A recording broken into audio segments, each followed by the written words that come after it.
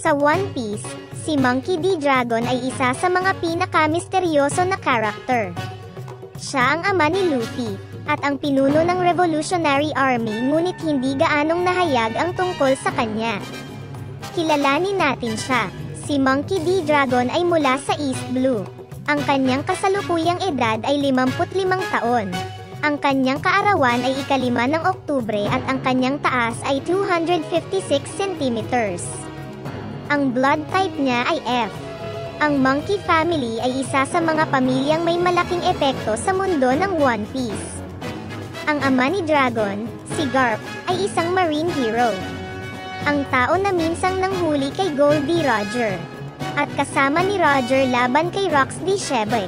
Ang anak ni Dragon, si Luffy, ay binibilang na ngayon bilang isa sa mga Yonko. Habang si Dragon mismo ang pinuno ng Revolutionary Army.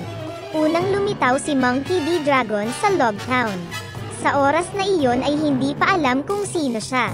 Malinaw na tila nagpapakita siya ng interes kay Luffy sa pamamagitan ng pagtulong sa kanya na makatakas kay Smoker. Ang debut chapter ni Dragon, kung saan makikita siyang naglalakad sa Logtown, ay unang lumabas sa Japan noong ikasyam ng Agosto taong 1900 at siyam Pagkatapos, ang kabanata kung saan ipinakilala ni Garp si Dragon bilang ama ni Luffy ay unang lumabas sa Japan noong ikatatlumpu ng Oktubre taong 2006. Tumagal ito ng higit sa walong taon para mabunyag ang pagkakakilanlan ni Dragon.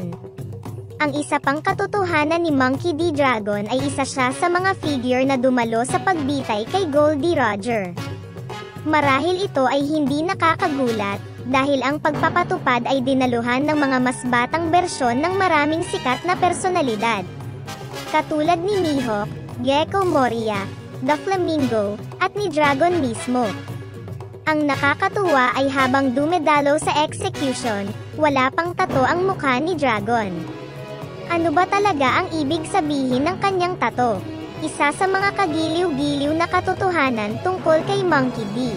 Dragon ay lihim na namimiss niya ang kanyang lupang sinilangan. Nakikita ni Ivankov na si Dragon ay madalas na nakaharap sa silangan, patungo sa East Blue. Si Monkey D. Garp, ang ama ni Dragon, ay kilala na kabilang sa Goa Kingdom sa East Blue. Kaya posibleng residente rin si Dragon sa isang kaharian na iyon. Si Dragon mismo ay minsang umuwi, noong maliliit pa sina Luffy, Ace, at Sabo. Ang kanyang presensya sa kaharian ng Goa sa huli ay tinitiyak ang kaligtasan ni Sabo, pati na rin ang pagliligtas sa mga residente ng Great Terminal na kinugkob ng apoy. Ito ay dahil sa interbensyon ni Dragon na ang mga biktima ng sunog sa Great Terminal ay hindi kasing matindi gaya ng nararapat. Inihayag ng One Piece 1066 na kilala ni Dragon si Vegapunk at Clover. Noong binisita ni Dragon ang Ohara noong nakaraan, sinabi niya kay Vegapunk na kilala niya si Clover. Mula sa interaksyon ni Dragon at Vegapunk sa Ohara, alam din na hindi sumali si Vegapunk kay Dragon dahil ang grupo ni Dragon ay itinuturing na masyadong mahirap. Ano ang silbi ng katalinuhan ni Vegapunk kung wala siyang magagawa dahil sa kakulangan ng pondo? Ganun pa man, nag-interact pa rin sina Vegapunk at Dragon. Sa pagtatapos ng Chapter 1064, inakala ng katawan ni Shaka the Vegapunk na mamamatay siya, kaya gusto niyang marinig ni Dragon ang kanyang sasabihin. Siyempre, ang pagbubunyag na ito ay kawili-wili. Kung si Dragon at Vegapunk ay nakikipag-ugnayan pa rin, bakit binago ni Vegapunk ang katawan ni Kuma para maging ganoon? Bahagi ba ito ng kanilang plano? Talagang ayaw ni Dragon na mapagtanto na ang mga iskolar ng Ohara ay pinapatay para lamang sa pagtatanong sa autoridad ng world government. Nagpa siya si Dragon na bubuo siya ng isang hukbo na makakalaban ng gobyerno. Gusto niyang baguhin ang mundo. Narinig din ni Vegapunk ang utos ni Dragon. Ang determinasyon ng Ohara ay hindi mamamatay kasama si Professor Clover. Sa loob ng isang taon na isiniwalat ni Dragon ang kanyang pagnanais na bumuo ng isang hukbo kay Vegapunk, siya, si Nakuma. At Ivankov ay nagtatag ng Revolutionary Army. Nang sabihin ni Dragon na gusto niyang bumuo ng isang hukbo na maaaring labanan ang gobyerno. Sinabi ni Vegapunk na sa palagay niya ay hindi gusto ni Dragon ang digmaan. Nagbibigay iyon ng isang kawili-wiling palatandaan tungkol sa kalikasan ni Dragon.